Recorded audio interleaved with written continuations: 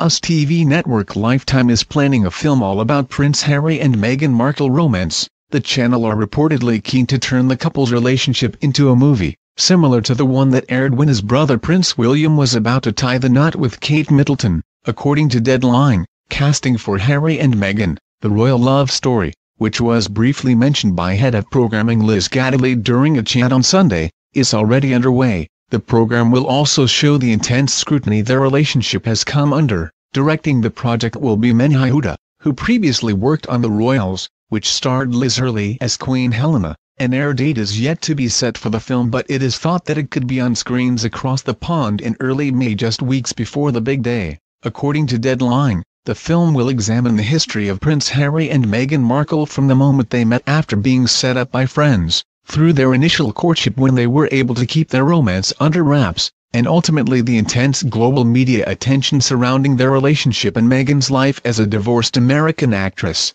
Prince Harry and Ms. Markle are set to marry at St. George's Chapel on Saturday 19 May 2018. The historic chapel is in Windsor Castle and is the same venue as Father the Prince of Wales and Camilla Parker Bowles received a blessing in 2005. Thank you for watching.